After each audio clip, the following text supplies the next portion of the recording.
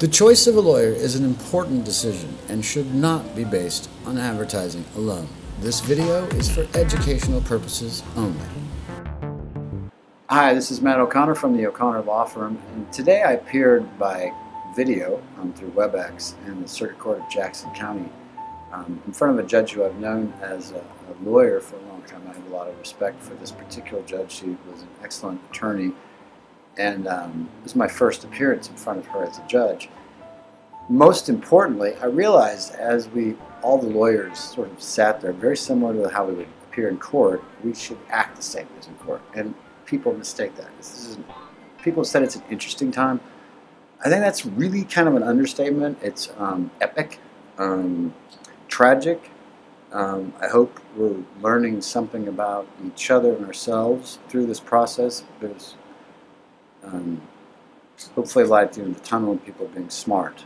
I don't know if that's the case, but certainly has caused introspection on uh, my, upon myself and look at the way the world works together. And with that said, um, today as I appeared, I realized that people may not know how to appear in court, and they really don't know how to appear in court in, on video. And in this particular case, somebody's audio was not muted, and it sounded like they were doing something that was not particularly um, uh, pleasant. Um, so be aware that when you're in court, just like right now, I'm on camera, I can't have something in the background that is inappropriate, or I can't appear in court and you know show up with my eruption Van Halen T-shirt like this. Ah, no.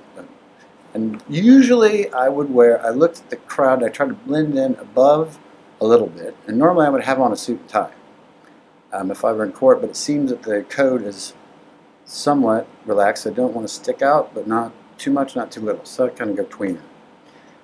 Um, also have a case where opposing counsel is reasonable and we're working and both in our client's best interest individually and as a unit to move the matter forward, which is good.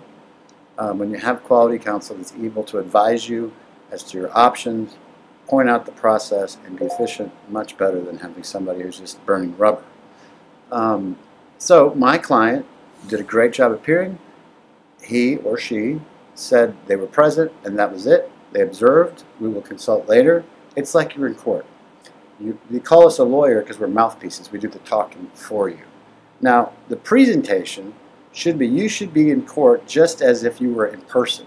So I would advise dress up like you're going to church, speak when spoken to and concisely, and if you're not sure, ask to talk to your lawyer before you answer any question. Be very deferential, but that doesn't mean you can't speak up if you have questions. If you don't understand the process, you should be able to ask your lawyer a question either through private message outside of the WebEx or, if necessary, to take a break just like you would in regular court. We would say, Judge, I need a recess. My client needs to consult with me. May I step off for a moment and call? You can turn on and off the video for um, Cisco's WebEx, or if you're using a different server, a different type, you can do that as well. Be very aware when you turn it on, at first, you are on. So don't be sitting there with your finger up your nose or making any lewd gestures or just looking like you're spacing off like, oh yeah, I on? We had a few of those too. It's a new um, technology, so to speak. Is it more efficient? Oh yeah. My client spent this much because his lawyer was able to go right into court, it took a little bit long, but really the court was pretty fast, frankly. And most importantly, we accomplished all goals that were set forth without having everybody drive in, sit in a room, wait for a case to be called. So that's one of the things to consider in terms of like the positive and negative. I hope our court system, they do a good job with the amount of cases that they have. But if we can help the court system through this process and learn from this tragic time and make a positive come out of it so it's more efficient for people then that's a perk, I hope. I hope we learned something after all. Anyway, those are my thoughts on these times appearing in court, how to appear in court when you're appearing by video, or for that matter, audio. Thank you for listening. I'm Matt O'Connor. The choice of a lawyer is an important decision and should not be based on advertising alone. This video is for educational purposes only.